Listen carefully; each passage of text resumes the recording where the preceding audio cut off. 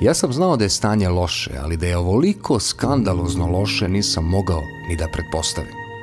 Spremite se za bolnu istinu o hrani koju jedemo. Ovaj video pre svega treba dobro da zamisli vegane, jer je njihova ishrana bazirana isključivo na voću i povrću.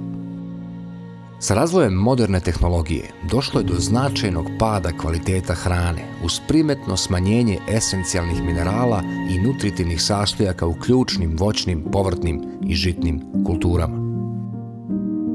Među glavnim uzrocima ovog trenda identifikovani su nesistematična upotreba sintetičkih mineralnih đubriva, korišćenje visoko prinosnih vrsta, koje nekada naravno nisu postajale, kao i gubitak humusnog dela zemlje.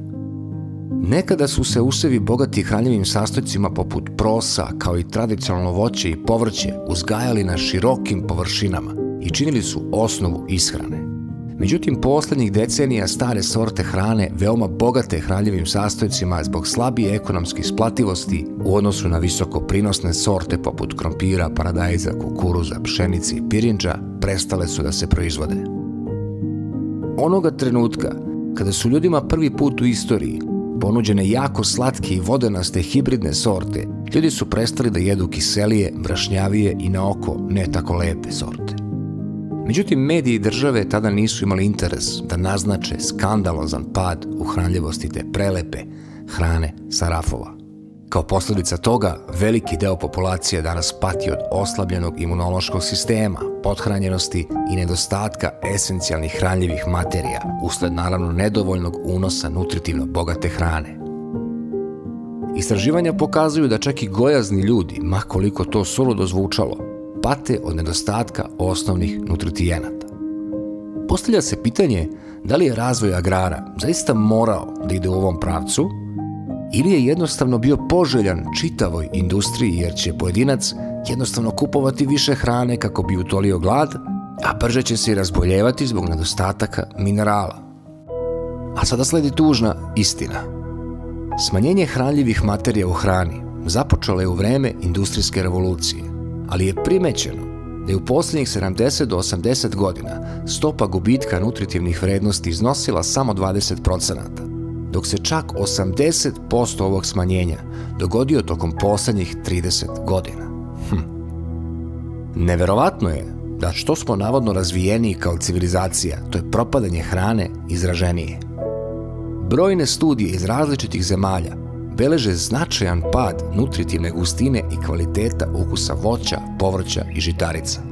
Konkretno, zabeležen je pad nivoa natrijuma od 29 do 49%, kalijuma od 16 do 19, magnezijuma od 16 do 24, kalcijuma od 16 do 46, gvožđa od 24 do 27, bakra od 20 do 76 i cinka od 27 do 59%. Nije malo, složit ćete se. Na primer, primećen je značajan pad hranljivih materija u 20 vrsta povrća u periodu od 36. do 91. godine, uključujući smanjenje nivoa kalcijuma od 19%, magnezijuma 35% i bakra 81%. Takođe sličan trend primećen je i kod voća, gde je došlo do smanjenja natrijuma od 43%, magnezijuma 11%, gvožđa 32%, bakra 36% i kalijuma 20%. Dalje studije su pokazale značajno smanjenje sadržaja minerala u voću i povrću između 63. i 92. godine, uključujući pad kalcijuma od 29%, magnezijuma 21%, kalijum 6%, fosfora 11% i gvožđa 32%. Pojavili su se drastični gubici u bakru, pazite, od 76% i cinku od 59% u različitim vrstama povrća. Takođe je primećeno konstantno smanjenje količine proteina od 6%, kalcijuma 16, fosfora 9, gvožđa 15, vitamina A 18, riboflavina 38% i vitamina C 15% u 43 vrste voća i povrća u poslednjih 50 godina.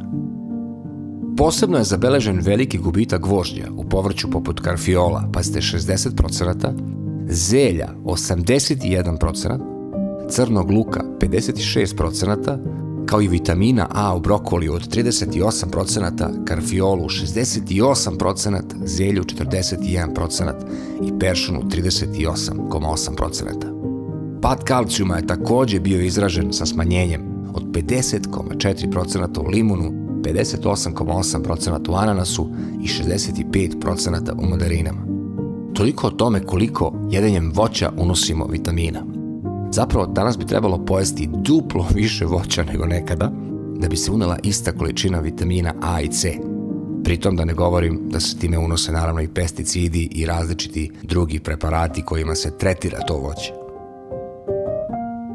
Zabeležen je i pad nivoa fosfora u različitim vrstama voća kao što su jabuke, 30% fosfora manje, u bananama 52% manje, naranđama 30% manje, breskvama 36, mandarinama 44. Smanjene količine gvožđa primećene su bananama od 55%, grejpfrutu 85%, naranđama 75%, breskvama 78%, jagodama 62%, mandarinama 75% i lubenicama 66%. Ljudi moji. Primećeno je takođe i značajno smanjenje sadržaja gvožđa u voću sa padom od 95% između 30. i 80. godina tačno tada kada kreće industrijska revolucija ili nauka se razvija, tehnologija i tako dalje. Ovaj trend opadanja nutritivnih vrednosti u voću i povrću je jasan i konzistentan, što ukazuje na ozbiljne izazove za očuvanje kvaliteta hrane u budućnosti. Razlozi ovog slabljenja kvaliteta hrane su naravno različiti. Genetika semena, godišnji klimatski uslovi, kvalitet zemljišta i raznolikost mikroorganizama, metode upravljanja i stepen zrelosti biljke u trenutku berbe. Glavni razlozi za opadanje hranljivih sastojaka uključuju degradaciju zemljišta, razvoj novih visokoprenosnih sorti, agronomske prakse usmerene ka komercijalizaciji poljoprivrede, upotreba sintetičkih đubriva, pesticida i herbicida, takođe genetski modifikovana hrana, zagađenje vazduha i vode. Dakle, kao što vidite, sve u ovom opisu je usmereno ka povećanju kapitala. Dakle, ne postoji jedna rečenica koja nije uvedena u toj modernoj nauci agroprivrede, a da nije usmerena ka povećanju zarade, što je očekivano, zar ne? Međutim, problem nastaje u tome kada se na hrani zarađuje jer je hrana nešto što mora da se konzumira svakog dana po tri puta dnevno. Pre industrijske revolucije ljudska ishrana se sastojala uglavnom od prirodno uzgajanih i kultivisanih žitarica kao što su proso, kukuruz, i sirak, zajedno sa manje poznatim vrstama prosa i tradicionalnim voćem i povrćem. Misli se na stare jabuke, one crvljive, ružnikave, kruške i tako dalje. Ove namirnice su bile bogate mineralima, vitaminima i substancama koje poboljšavaju zdravlje, kao što su fenoli i antioksidansi. Međutim, s vremenom su neke namirnice postale popularnije zbog ukusa, teksture i izgleda, dok su druge postale manje poželjne. Kukuruz je danas maltene 100% hibridnog porekla, što je jednako veliki gubitak hranljivih vrednosti. Što zatim povlači i naravno hranljivost mesa, jer se stoka uglavnom hrani kukuruzom. Pre 1940. godine usevi su se uzgajali organski, bez upotrebe hemijskih sredstava. Međutim, nakon 80-ih, većina farmera je počela široko da koristi insekticide, fungicide, herbicide i hemijska đubriva, jer su im logično donosili mnogo veći profit. Naravno, ovo je povezano sa velikom migracijom ljudi u gradove, kada se javila potreba za proizvodnjom veće količine hrane sa manjim brojem proizvođača. I to stoji. Ali se to nikada ne bi desilo da su oni koji odlučuju vodili računa o posledicama hrane, kao što vode na primjer o posledicama u bankama, berzama, privatnim avionima i ostalim njima važnim sektorima proizvodnje, koji su ostali i unapređeni u mnogo većoj meri.